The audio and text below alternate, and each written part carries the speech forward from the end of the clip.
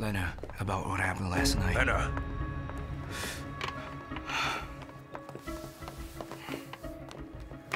Can you tell me how that bomber escaped jail? Actually, we just got word from the provincial jail. They still don't know how he managed to escape. But they're now investigating the incident. Maybe it's an inside job, so they're looking into that. Uncle, it's possible that a prison guard helped him get out of that place. That's possible. You're all useless. Nothing's been confirmed yet.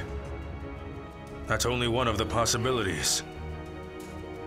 As much as I'd like to help with the search, that's no longer within our jurisdiction. The police from the provincial jail are the ones looking for him.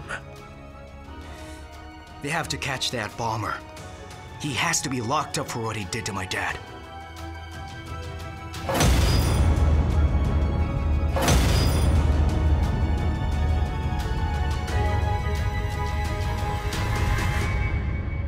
Lena?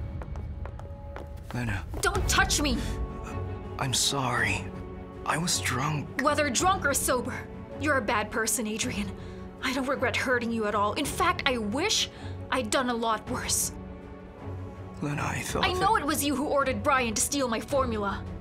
And because of that, my grandpa died. You're despicable. You're even worse than your cruel parents. But that fire wasn't part of the plan. Whatever you say is not gonna bring my grandpa back to life. You are a murderer. I hope you burn in hell, but before you die, I'm gonna make sure to make your life a living hell for you.